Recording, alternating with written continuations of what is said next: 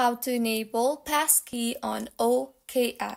Hello everyone, I am Bishaka and welcome to our channel. Now, let's get right into the tutorial. Firstly, go ahead and open the OKX app on your device and then go to menu and select Profile and Settings option. Further, select Menu at the top left corner and find the Security option in the User Center, and then find the Security Center. Now, select Security on the User Center page and then tap on the Passkeys option. Now, select the Enable option and complete the security verification. You can select one of the options to complete the security verification.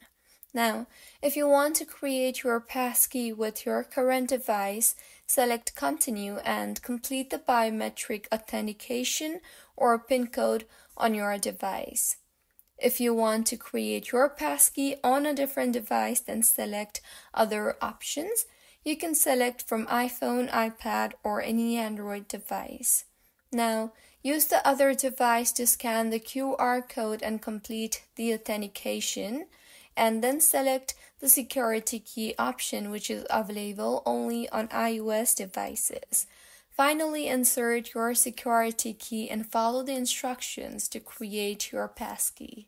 So, this is how you can create passkey on OKX. If you find this tutorial helpful, please like the video and do comment if you have any queries. Also, do subscribe to our channel for more helpful tutorials like this. See you on the next one.